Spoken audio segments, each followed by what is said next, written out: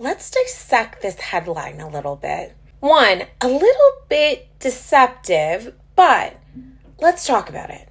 So, Toronto home sales surge, so go up 40%, but prices slip again. Meaning, price points slip again, meaning go down. With simple economics, usually what's in demand, price points go up. So, this lets me know we're in a little bit of a transitioning market and things just haven't quite caught up to itself yet. So, if you are looking to get into the market, one, if you're a buyer, there are some deals to be had right now. So, jump on them quick. If you're a seller who's looking to get into the market and sell your home, I'm going to say very soon you are going to see an influx of buyers go into the market. So you're going to be able to get more for your house than previously. Mind you, there is a short little gap for each.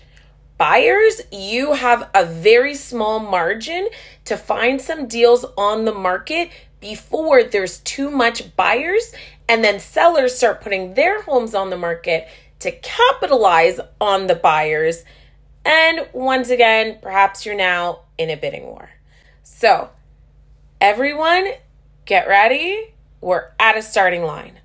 So, let me sum that up for you. If you're a buyer, I recommend getting into the market sooner rather than later because what's going to happen is once sellers see that there is a renewed interest in the market and they had intended to sell, you're going to see an influx of properties making it on the market.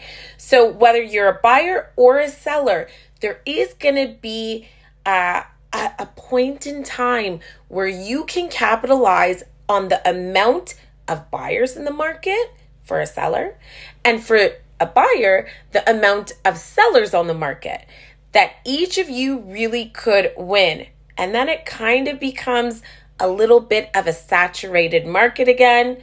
And we're back in full swing.